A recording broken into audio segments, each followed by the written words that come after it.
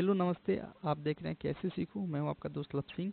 आप सभी का बहुत बहुत स्वागत करता हूँ। दोस्तों, आज का कहानी जो है बहुत ही सुंदर ये कहानी है तो इस कहानी को शुरू से लेके लास्ट तक सुनिएगा और समझिएगा कि आप बुद्धिमान है या मूर्ख हैं।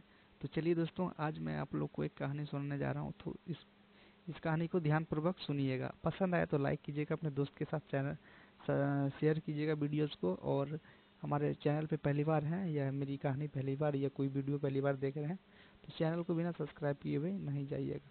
इसी तरह के वीडियो चाहिए आपको तो चैनल को सब्सक्राइब करके बेल आइकन को भी प्रेस कर सकते हैं। चल, चलिए दोस्तों वीडियो स्टार्ट करते हैं। तो आज का कहानी जो है दोस्तों, एक गाँव में बहुत सारे किसान रहते थे जो अपने बहुत खेतों में व्यस्त रहा करते थे। अपने काम कार्य में व्यस्त रहते तो अचानक एक दिन क्या होता है कि बाहर से एक सेठ जी आते हैं उस गाँव में। तो उस गाँव में सेठ जी आते हैं तो सभी किसानों को इकट्ठा करते हैं कि देखिए आप लोग के लिए एक स्कीम लाए हुए हैं, ठीक है? इस स्कीम को जो फॉलो करेगा तो आप लोग को पैसे मिलेंगे और अपना आराम से रोजी रोटी आप चला सकते हैं। तो वो कहानी जो ये सेठ को चारों तरफ़ से जो आदमी है वो घेर लिया और बोलने लगा, बताइए क्या स्कीम है हमारे लिए? सभी किसान पूछने लगे कि बोलिए, आप कौन सा स्कीम का बात कर रहे हैं जिसमें हमें पैसा होगा? तो जो सेठ था, सेठ बहुत ही चतुर था। तो उसने बोला कि देखिए, आपके गाँव में जितना बिल्ली है, ठीक है, सभी बिल्ली को पकड़ के मुझे देना है। तो जो भी व्यक्ति, जो भी किसान मुझे एक बिल्ली पकड़ के देगा तो उसको मैं एक सौ रुपया दूँगा, ठीक है। तो सभी किसान चकित हो गए कि ये बिल्ली क्या करेगा, जो एक बिल्ली का एक सौ रुपया देगा। तो सब आपस में मतलब मशवरा किए कि, ठीक है, सो बिल्ली को हमें पकड़ के देना है इसको। सो आसपास में मेरे गाँव में जो है बहुत सारे बिल्ली हैं तो इसको पकड़ के दूँगा तो दिन भर में यदि पाँच भी दूँगा तो पाँच सौ रुपया हो जाएगा।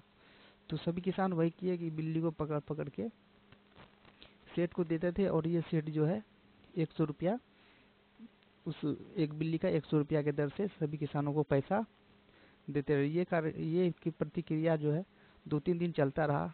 दो तीन दिन के बाद क्या हुआ, गाँव का सारा बिल्ली खत्म हो गया। उसके बाद सेठ ने बोला कि आजकल बिल्लियाँ कम आ रही है, सो आप लोग मेहनत नहीं करते हैं। जल्दी दीजिए, बिल्ली हमें जितना जल्दी दीजिएगा और हम जो है आप लोग के लिए उतना फिर दूसरा स्कीम लाएँगे। तो सभी किसान ने सोचा कि मेरे गाँव के सारे बिल्ली तो ख़त्म हो गए, कोई बात नहीं, पड़ोस में के गाँव में जो है, वहाँ जाके मैं बिल्ली पकड़ लूँगा और कोई हमें मना भी नहीं करेगा बिल्ली पकड़ने में और फिर मैं ला के इस सेठ को दे दूँगा। तो फिर वही किसान करते गए करते गए, मिनिस्टर के पास, चलते गए। तो कुछ ऐसे फिर दो तीन दिन का प्रक्रिया चलते रहा। उसके बाद क्या हुआ कि पड़ोस के गाँव के भी बिल्ली सारे ख़त्म हो गए। तो अब कोई बिल्ली पकड़ के तो बिल्ली नहीं मिल रहा था तो ये दोनों सब जो है किसान अपने खेत में फिर से काम उम करने लगा। उसके बाद एक दिन सेठ फिर से आया। सेठ ने बोला कि अब की यदि जो बिल्ली मुझे पकड़ के देगा, मैं एक बिल्ली का दो सौ रुपये दूँगा। तो फिर वही करते रहा। कुछ दिन तक प्रक्रिया चलते रहा, फिर दो सौ दो, एक बिल्ली पे दो सौ रुपया देना, चालू कर दिया। कुछ समय बिकता गया, उसके बाद फिर से किसान जो है अपने अपने काम में लग गए और बिल्ली भी कम पड़ गई तो नहीं देने लगे। तो उसके बाद क्या हुआ कि वो लोग जो है कुछ दिन तक चुप रहे और उसके बाद फिर वो क्या किए, वो फिर दूसरे दिन आए और बोलते हैं कि एक बिल्ली के मैं जो है, पाँच सौ रुपये दूँगा, ठीक है? यदि अभी कोई बंदा एक बिल्ली हमको पकड़ के देता है या एक बिल्ली का मैं पाँच सौ रुपया, हर बिल्ली का पाँच सौ रुपया अब लोग को देने के लिए तैयार हूँ। तो सब लोग में आके हाँ अभी तो एक सौ रुपये दे रहा था, फिर दो सौ रुपये दिया, अभी पाँच सौ रुपये दे रहा है। तो ये बंदा जो है, फिर से सभी किसान ने अपने अपने काम को छोड़ा और फिर से बिल्ली की तलाश में लग गए।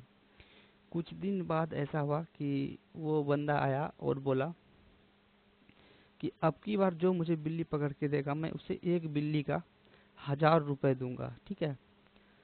तो गाँव के बिल्ली भी तो ख़त्म हो गए थे फिर भी आ, दूसरे गाँव में तीसरे गाँव में जा जाके किसानों ने एक दो बिल्ली तो दिन भर में पकड़ लेता था तो हज़ार रुपए दो हज़ार रुपये हो जाता था। उसके बाद अचानक क्या हुआ कि एक दिन और सेठ के साथ में एक और लड़का को लेके आया ठीक है? तो वो लड़का बोला कि देखिए अब तो सारे गाँव की बिल्ली ख़त्म हो गई है। यदि आप मेरी बिल्ली पर, मेरे पास बहुत सारी बिल्ली पड़ी हुई है, ठीक है? मैं आपको 500 के हिसाब से एक बिल्ली दूँगा और आप इसको एक हज़ार में बेच सकते हैं। मेरे पास बहुत सारा बिल्ली है तो इतना बिल्ली का मैं क्या करूँगा? तो आप लोग लेके बेच सकते हैं सेट को, ठीक है? तो वो क्या कभी किसान ने अपने मीटिंग बैठाया कि नहीं, ये देखिए, ये बंदा सही बोल रहा है कि हम इनकी बिल्ली को पाँच सौ रुपये में लेके और वो सेठ के पास हज़ार रुपये में बेच देंगे। जिससे कि हमें दुगुना का मुनाफा हो जाएगा। तो सभी किसान ने ये सोचा, एक दो बार तो इसमें जो एक दो तेज थे, वो बोला, नहीं नहीं, ऐसे करना तो ठीक नहीं है। क्या बता कि वो सेठ बिल्ली ले या नहीं ले? तो फिर उसने बोला कि, ठीक है, कोई बात नहीं, एक बार भरोसा करके देखते हैं। जो पाँच सौ रुपये, हज़ार रुपये बोला तो दिया तो इसमें भी तो एक हज़ार रुपये देंगे ही देंगे। तो उसने क्या किया, वो दूसरे वाले सेट से सारे बिल्ली किसानों ने खरीद लिया पाँच सौ रुपये में, ठीक है? और सेट वहाँ से फरार हो गया। और जितना देखिए वही बिल्ली जो मैं ये एक सौ रुपये दो सौ रुपये में खरीदा और वही सारा बिल्ली जो है वो पाँच सौ रुपये में बेच के चला गया। तो दोस्तों यही कहा जाता है कि अब आपको धीरे धीरे से अपना, आपका कुछ होने वाला है तो कड़ी मेहनत से ही होने वाला है। ठीक है, दूसरे के आशा से आप कुछ नहीं कर सकते हैं। तो उम्मीद है प्यारी सी छोटी सी कहानी ये आपको पसंद आई होगी। तो मिलते हैं दोस्त एक और नई इंटरेस्टिंग कहानी के साथ। आपको यदि कहानी पसंद आई तो लाइक करें, या कोई तरह का प्रॉब्लम है तो आप हमें कमेंट करके बता सकते हैं। यदि और आपको नेक्स्ट इस तरह की कहानी चाहिए तो आप हमें कमेंट करके ज़रूर बताएँ। तो मिलते हैं दोस्तों, एक नए इंटरेस्टिंग वीडियो